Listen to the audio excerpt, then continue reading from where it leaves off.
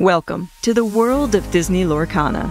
This game is for everyone, whether you're new to trading card games, a veteran player, or a collector.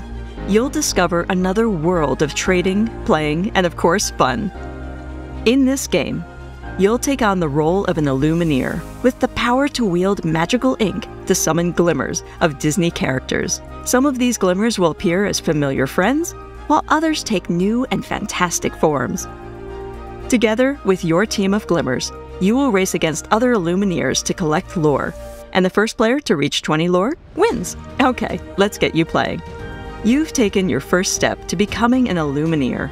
Before we get started, let's talk briefly about the type of game Lorcana is. You may have heard a lot about trading card games, or TCGs. Maybe you've seen people playing them, or have noticed the displays in the store. There's a lot of information out there, and it can feel overwhelming. So we've separated the rules out into several short videos, so you can go back to any section you like whenever you want. It might take you a game or two to learn the rules, and that's completely normal. Take all the time you need. The first thing to understand about trading card games is that each player makes their own deck before the game starts, using the cards in their collection.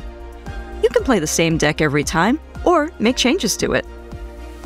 This is one of the most fun aspects of trading card games. You get to decide what character glimmers you play with, what strategies you want to use, and how you want to play the game. Also, once you learn the basic rules, everything else you need to know is right there on the cards, and the cards are allowed to break the rules.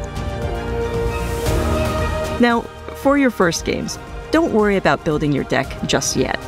There are several different starter decks you can choose from, which are pre built to be fun right out of the box. Each player will need a deck.